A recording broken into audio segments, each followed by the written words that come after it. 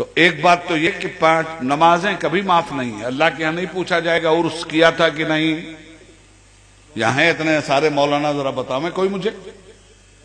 अल्लाह के यहाँ नहीं पूछा जाएगा चादर चढ़ाया था कि नहीं। अल्लाह के यहाँ नहीं पूछा जाएगा ताजिया बनाया था कि नहीं। अल्लाह के यहाँ नहीं पूछा जाएगा न्यास फातिहा किया था कि नहीं। साफ़ साफ़ सुनो। और मैं सुन्नी इब्ने सुन्नी बोल रहा हूँ।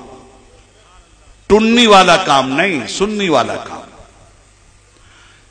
इसमें से एक बात अल्लाह के यहाँ नहीं पूछी जाएगी। ख्वाजा साहब के यहाँ कितने बार गए थे, कभी नहीं पूछा जाएगा।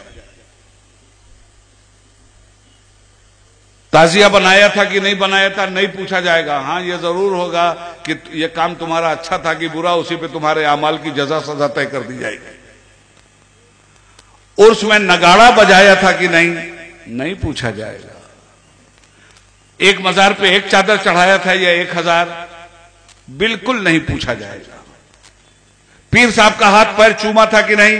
बिल्कुल नहीं पूछा जाएगा। उनको नजराना शुक्राना देकर राज़ी किया था कि नहीं? बिल्कुल नहीं पूछा जाएगा। तो फिर पूछा क्या जाएगा?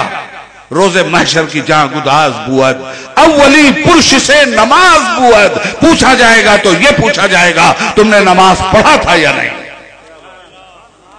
और जजा सजा इस पे तय हो। जान पिघलती होगी, सूरज सवा नेजे पे होगा,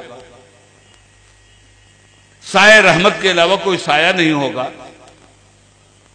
माँ बेटी को नहीं पहचान रही होगी, बेटी माँ को नहीं पहचान रही होगी, बाप बेटे को नहीं पहचान रहा होगा, बेटा बाप को नहीं पहचान रहा होगा, नफसी नफसी का आलम होगा। अंबिया कराम का आलम यह है कि खुदा के सामने जाने के लिए लरज रहे होंगे। कितना बड़ा कलेजा है हमारी इस उम्मत का?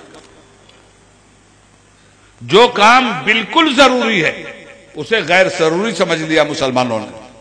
और जिस काम के बारे में कोई पूछ गछ नहीं है, उसको फ़र्ज़ समझ के ये कौम कर रही है।